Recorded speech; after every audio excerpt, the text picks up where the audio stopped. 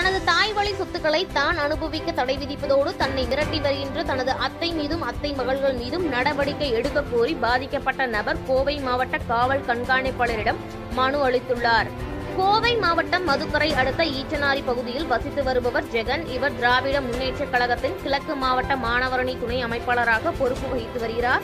இந்த நிலையில் நேற்று மாலை இவர் கோவை மாவட்ட காவல் கண்காணிப்பாளர் செல்வநாரத்னத்தை சந்தித்து புகார் மனு ஒன்றை இன்று வழங்கினார். அதனைத் தொடர்ந்து கோபாலபுரத்தில் செய்தியாளர்களிடம் பேசிய ஜெகன் கூறுகையில் எனது தாய் தந்தை இருவரும் சில ஆண்டுகளுக்கு முன்பு விபத்தில் இறந்துவிட்டனர் எனவும் எனது தாய்மொழி சொத்தான சுமார் பதினாறு ஏக்கர் பூமி சூலூர் தாலுகா கலங்கல் கிராமம் அப்பநாயக்கன்பட்டி புதூர் என்ற பகுதியில் உள்ளது எனவும் தனது தாயும் தந்தையுமான எனது தாத்தாவின் சொத்துக்களான பதினாறு ஏக்கர் பூமியை தனது தாயை ஏமாற்றி மொத்தம் உள்ள பதினாறு ஏக்கர் பூமியில் வெறும் ஒரு ஏக்கர் பதினாலு சென்ட் நிலத்தை மட்டும் குறிப்பிட்டு போலியான பத்திரத்தில் அதுவும் குறிப்பாக எந்த பூமி என்று குறிப்பிடப்படாமல் பொதுவில் பாதி என்று தவறுதலாக குறித்து எனது தாயிடம் கையெழுத்து வாங்கி தனது தாய்மாமா குடும்பத்தினர் சென்றனர் எனவும் சிறுவனான எனக்கு எந்தவித டெபாசிட்டோ வைப்பு தொகையோ எதுவும் செய்யாமல் அவர்கள் கையெழுத்து வாங்கி சென்றனர்.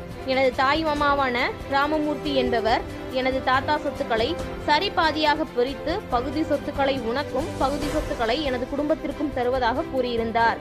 இந்த நிலையில் பத்திரப்பதிவு எதுவும் செய்யாமலே கடந்த மூன்று மாதங்களுக்கு முன்பு தனது தாய்மாமா இறந்துவிட்டார் எனவும் இந்த நிலையில் தனது தாய் வழி சொத்து பூமியான அப்பன் நாயக்கன்பட்டி புதுப்பகுதியில் உள்ள பதினாறு ஏக்கர் நிலத்தில் நான் செல்லும் பொழுது தோட்டத்தை மேற்பார்வையிட்டு வருகின்ற சக்திவேல் என்பவர் பூமிக்குள் வந்தால் கொலை செய்து விடுவதாக மிரட்டல் விடுவதாகவும் இது குறித்து எனது தாய் மாமாவின் மனைவியும் எனது அத்தையுமான சாவித்ரி என்பவரிடமும் அவர்களது மகள்களான ராகவி பவித்ரா ஆகியோரிடம் கேட்டால் அவர்கள் மூவரும் இணைந்து உனக்கும் இந்த பூமிக்கும் எந்த உரிமையும் இல்லை. எங்களது பூமிக்குள் நீ வரக்கூடாது என்றுதான் தோட்டத்தில் ஆள் வைத்துக் கொள்வதாகவும் பூமியை விட்டு வெளியே போ என்று விரட்டுவதோடு தனக்கு வரவேண்டிய சொத்துக்களையும் அபகரித்ததாக புகார் அளித்துள்ளார். மேலும் இது சம்பந்தமாக எந்த நடவடிக்கை மேற்கொண்டாலும் திராவிட முன்னேற்ற கழகத்தில் அமைச்சராக தனது உறவினர் ஒருவர் இருக்கிறார். அவரிடம் கூறி உன்னை கட்சியில் இருந்து நீக்கிவிடுவதாக மிரட்டுவதாகவும் தெரிவித்துள்ளார்.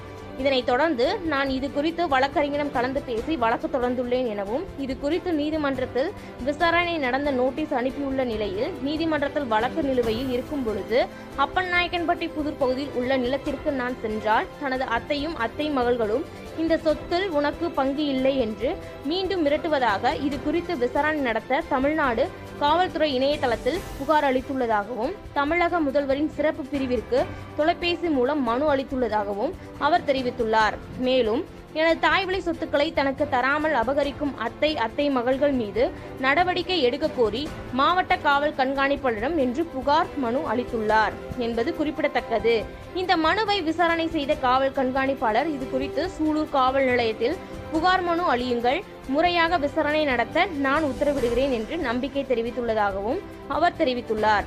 மேலும் இது குறித்து நான் இன்று சூலூர் காவல் நிலையத்தில் புகார் மனு அளிக்க இருப்பதாகவும் இவ் அவர் தெரிவித்துள்ளார் என்பது குறிப்பிடத்தக்கது.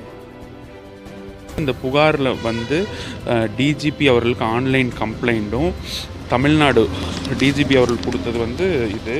அதுக்கப்புறம் தம் தமிழக முதலமைச்சர் சி- சிறப்பு கொடுத்தது வந்து இது. இன்றைக்கி எஸ்பி ஆஃபீஸ் வந்திருக்கிறேன். அவர் வந்து சூலூர்லேயும் போய் பார்க்க சொல்லியிருக்கிறாங்க ஐயா வந்து. இப்போ என்னென்னா என்னோட பதவியை காலி பண்ணி எனக்கு களங்கம் விளைவித்து என்னோட என் மேலே பொய் புகார் சுமத்துறக்கு அவங்க தயாராகி வருவதாக எனக்கு நம்பகத்தகுந்த என்னோட ரிலேட்டிவே சொன்னாங்க. என்னை பல முறை ஃபோன் பண்ணி ஃபோன் பண்ணி டார்ச்சர் பண்ணிட்டு இருக்கிறாங்க நான் என்னோட லாயர்கிட்ட பேசியிருக்கிறேன்.